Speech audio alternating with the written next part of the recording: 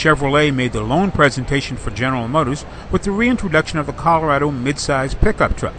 Initially, it will come with a gasoline version, and a diesel power plant is promised for the model year 2015. Ford is promising some serious technical upgrades to the Edge for 2015 as it reworks the small crossover, which finds itself in a very competitive segment.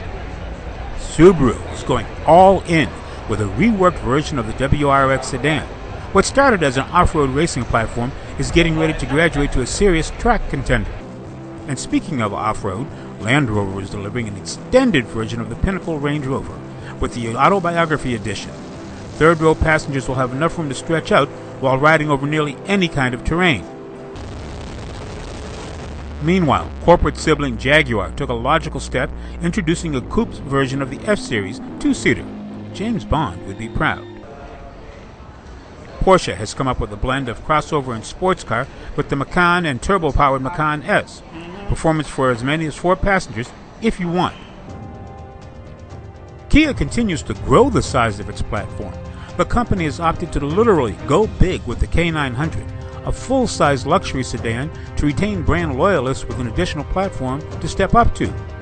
For Nissan, it was all about performance, and what better way to show the company's fastest car than have Usain Bolt, the world's fastest man, do the honors with the Nismo version of the GTR Sport Coupe.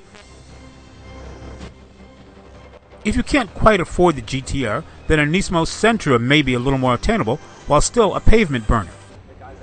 The somewhat cheeky folks at Mini have come up with another twist on the base platform, a hardtop version of the Cooper and Cooper S, a mobile demonstration of attitude and aptitude.